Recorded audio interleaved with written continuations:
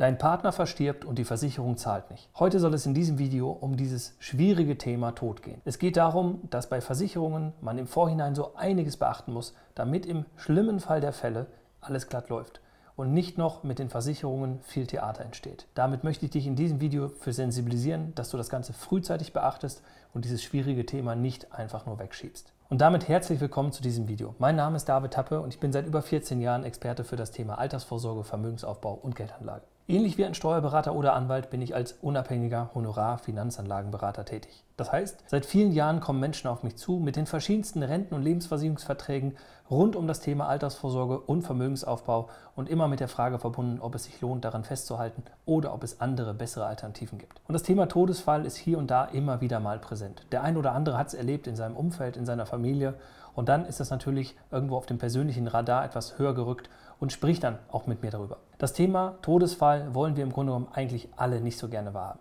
Wir verdrängen es, wir beschäftigen uns ungern damit, aber letztendlich gehört es zum Leben dazu.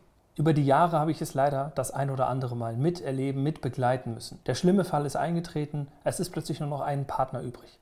Und dann ist es oft so, dass eben nicht entsprechend vorbereitet worden ist und dann ein großes Suchen an Unterlagen, an Belegen und an Dokumenten stattfinden muss.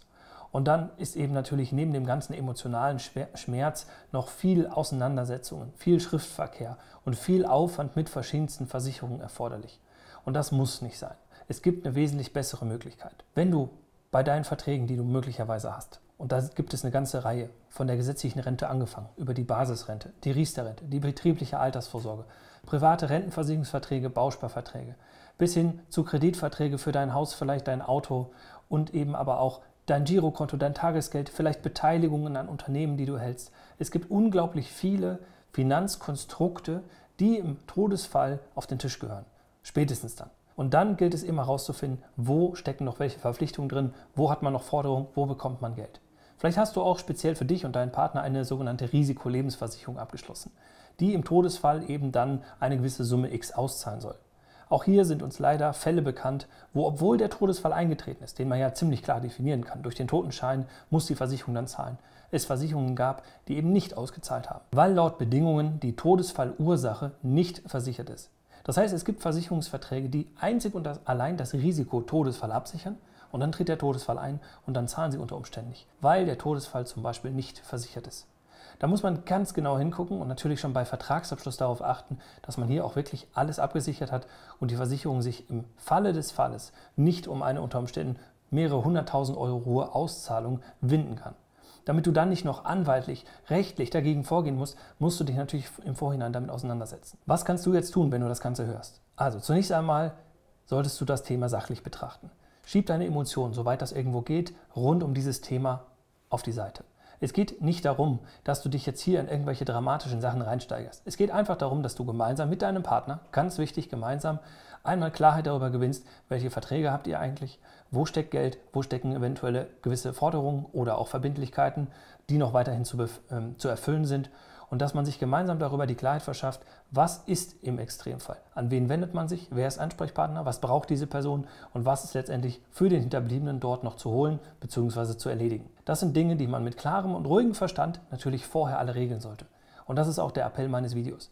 Mach dich nicht verrückt, aber setze dich damit auseinander, nimm deinen Partner und geht einmal gemeinsam alles durch. Und wenn das alles vernünftig einmal aufgearbeitet ist, vielleicht wirst du den einen oder anderen Fehler möglicherweise finden in deinen Unterlagen bezüglich dieses Themas, dann sollte man natürlich daran gehen und das entsprechend reparieren und am Ende des Tages sollte es so sein, dass alles ordentlich ist, dass zu jedem einzelnen Vertrag ein ganz kurzer Actionplan existiert, wo man sieht, was ist jetzt zu tun, wenn dieser extrem schlimme Fall eben eintritt. Ich gebe dir gerne auch noch mit auf den Weg. Es gibt Verträge, die zahlen tatsächlich eine einzige Summe im Todesfall aus, eine Todesfallleistung.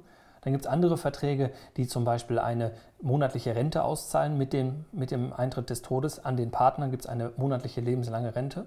Und dann gibt es wieder andere, die zahlen überhaupt nichts aus. Und auch da muss man natürlich achten, dass man hier eventuell im Vorhinein schon darüber nachdenkt, ob das überhaupt gewollt ist. Es gibt Vertragsarten, wo man, obwohl man in einer Beziehung ist, verheiratet ist, vielleicht auch Kinder hat, entsprechend einzahlt und im Todesfall die Familie leer ausgeht. Das sind Dinge, die können unter Umständen Sinn machen, wenn man über andere Stellen sich zum Beispiel abgesichert hat und diese Todesfallleistung bewusst außen vor lässt. Du merkst also, es gibt extrem viele Details, die man hier kennen muss, damit man das Ganze richtig berücksichtigt. Es ist also für ein Video ein bisschen komplex und etwas zu schwierig, um dir das jetzt hier in jeder Facette zu erklären. Was ich dir anbieten kann, ist, buch dir gerne mal einen kostenlosen ersten Termin mit uns. Geh mal auf www.tappeconsulting.de, den Link findest du auch unten in der Beschreibung. Und dann machst einfach wie Hunderte, wie Tausende vor dir auch, buch dir einen kostenlosen ersten Termin. Lass uns mal gemeinsam kennenlernen und auf deine Unterlagen gucken, auf deine Verträge und herausfinden, wie das Thema Todesfallschutz bei dir konkret geregelt ist und ob das mit deinen Bedürfnissen übereinstimmt. Und dann können wir das gerne einmal sauber verschriftlichen, was du wo zu tun hast und dann hast du diesen Masterplan. Vielleicht wird sich bei dieser Recherche und bei dieser Prüfung auch herausstellen, dass der eine oder andere Vertrag mal unabhängig vom Thema Todesfall gar nicht mehr so rentabel ist, sich gar nicht mehr richtig lohnt und dem Zuge würde man das natürlich dann auch gleich mitprüfen können. Von daher, lass uns einfach gemeinsam deine Finanzen auf ein neues Level bringen. Ich freue mich, wenn ich dich dabei persönlich unterstützen darf. Also bis ganz bald, dein David.